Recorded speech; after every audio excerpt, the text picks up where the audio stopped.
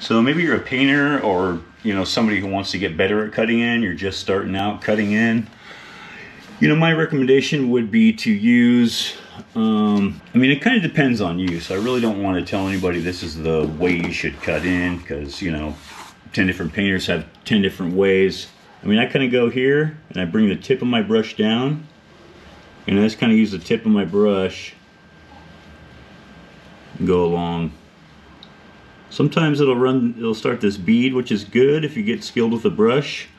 Um, if you're new, it might be a little trouble because you kind of have to pull that, kind of have to pull that bead of paint along with you fast before it drips down.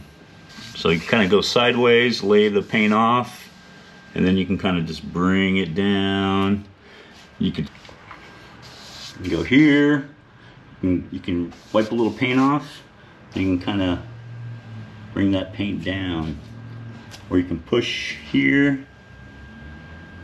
you know, you can kind of just move that tip around, right? You're controlling it with your wrist. A lot of, a lot of, a lot of the brush is in your wrist, so go like that. I mean, there's there's a million ways you can manipulate the brush to get it where you want it. So just think of, see, I'm just moving left and right, rotating clockwise, counterclockwise. Push it on here. You just want that little that little bit to go down. See that?